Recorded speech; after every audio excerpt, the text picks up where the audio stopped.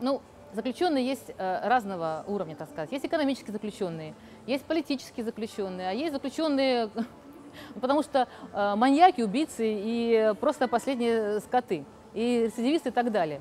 Поэтому тут надо решать, э, чьи интересы мы хотим соблюдать. Если мы все-таки страна, которая борется за какие-то экономические и политические законы, должны мнение этих людей учитывать раз они сидят по каким-то, скажем, э, правонарушениям. Но они имеют высокое IQ, имеют высокое образование. Просто, ну, как говорится, знаете, раньше в тюрьму сажали и тех, кто просто, ну, даже тех самых хакеров, которые, извините, умнее всех нас будут взяты.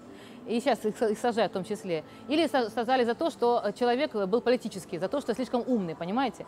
Поэтому человек умный, почему бы не спросить у него мнения? А всех, всех остальных, ну, конечно, не хочется делить людей на дураков и умных, но э, я вообще считаю, что э, прежде чем идти на какое-то голосование, я лично бы какой-то делала тест для любого жителя, э, проверять его вообще психологическое какое-то его состояние, ну, конечно, уровень IQ брать не будем, но хотя бы элементарные вопросы, ну, вплоть даже таблицу умножения. Если человек хотя бы может ответить на какие-то элементарные вопросы, значит, он может быть допускаться выбором. Остальные просто люди, которые вообще не знают ни русского языка, не знают элементарных там Пифагора, там, ну просто тогда, пожалуйста, все, до свидания. Ну что вы здесь хотите делать?